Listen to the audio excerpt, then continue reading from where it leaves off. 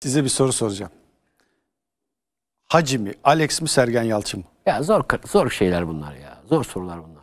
Herkesin kendi ayrı karakteri var, ayrı oyunu var, ayrı bir futbol yeteneği var. Zamanında da bizde konuşuyor. Tümer'le Sergen oynar mı? Ondan önce Şifomet'le Sergen oynar mı? Ya oynar kardeşim, oynar. Bir şey olmaz.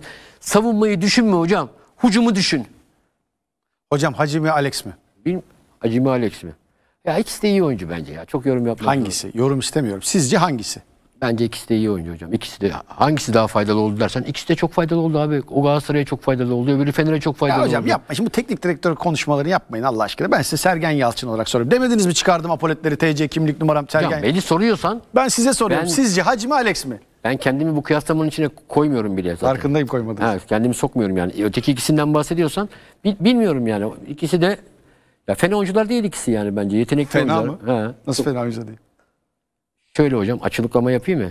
Bu oyuncular, açıklama yapayım mı sana? Yapın lütfen. Bu oyuncular Türkiye'den önce nerede oynamışlar? Bir tanesi Brezilya'da, diğeri de Hacı'nın fena değil ama Barcelona falan. Ne Öyle- oynamış? Hocam oynadı Hacı bayağı ya. Ya hocam geldiğinde Hacı'yı tanıyan mı vardı ya? Kaç kişi Vardı tanıyordu hocam yani? ya. Hacı vardı. Hocam Türkiye'deki popülaritesi var mıydı? Va yoktu. Ondan bahsediyorum. Ama ya, ama bu da bir başarı değil mi hocam? Başarı tabii ya bak konuları ayıralım. Başarısızlıkla ilgili bir şey konuşmuyorum ben. Ama Galatasaray'ın o kadrosunda başarılı oldu hocam. O kadroda. O kadroda. O tarihin belki de en iyi kadrosudur. O kadro. Ya Hacı'ya Galatasaray çok büyük şey kattı diyorsunuz siz. Yani aynen öyle diyorum ben. Cevap o kadronun meyvesi. Hacı mi Alex mi? Sergen Yalçın'a soruyorum. Yani politik cevap vermeyin ne olur. Sizce sizin oyuncu, teknik adam olarak baktığınızda hangisi sizce daha büyük oyuncudur? Zor cevap. Vallahi gerçekten söylüyorum zor cevap. Eğer bir tanesinin daha büyük oyuncu olduğunu söyler yani şey hissetsem söyleyeceğim. İnan söyleyeceğim ama sanki Hacı bir bir adım daha önde ya bence. Öyle Hacı, mi? Hacı bir adım önde gibi. Ama Alex de çok başarılı hocam. Fenerbahçe'de neler yaptı Tabii yani. tabii. Efsane. E çok, şimdi çok büyük e oyuncu. onu da şimdi sen başarısız hani o ondan daha büyük oyuncu diye. Onu kastetmedim. canım. O bizim benim haddim değil ben. Şimdi çok büyük isimler bunlar. Camialara mal olmuş Tabii, isimler. tabii. Ben asla öyle bir kıyaslama için değil Zor- ama zor size göre konular. hangisi daha büyük oyuncu diye size şans. Bunu bu arada ben Arda Turan'a sordum, Emre Belezoğlu'na. Bu yayında oyuncu. herkese sordum konu İkisi de büyük oyuncu. Ben kıya- ben kıyaslamaya girmem zaten normalde. Bu arada Galatasaraylılara bir haber vereyim. Bu sezon içerisinde az önce konuştuğumda Hacı'yı da konuk edeceğiz. Aa. Dönüşüyoruz, konuşuyoruz. İnşallah sezon içerisinde o büyük efsaneyi de burada konuk edeceğiz. hayırlısı olsun. Fatih. Terim belgeselini seyrettiniz mi? Yok çok seyredemedim. Henüz seyredemedim yani seyredeceğim. Ee, Konuştum orada ben de varım. evet. O yüzden sordum size. Varım varım evet konuştum. Program belgeselde konuşup belgesel seyretmediniz ama. Yok. Çok iyi tebrik ediyorum sizi. Ee, program bitti hocam. Ben benim soracağım daha sor. ben bitsin artık bence. Evet. Gerçekten sabah karşı falan bitti. Artık başka konulara gireceğiz bundan sonra artık. Futbolun dışına çıkacağız. İşte akşam ne yapalım? Akşam neredesin?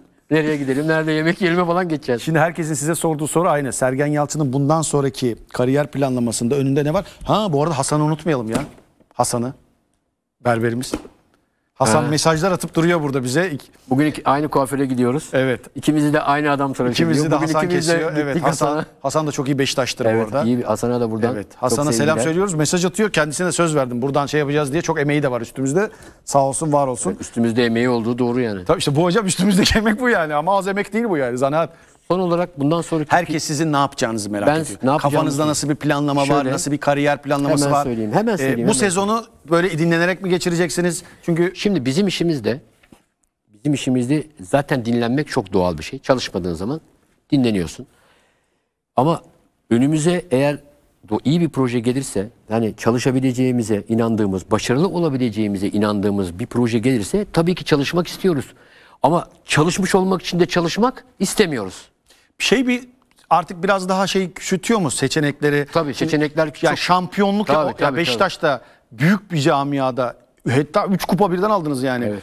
Bundan sonrası biraz daha artık sizin için şey sıklaşıyor mu? Yani Ya- ya- beğenmek ne bileyim tercihlerde daha seçici oluyorsunuz. Ya herhalde. öyle demeyelim ama tabii ki e, çok seçici davranmak zorundayız artık.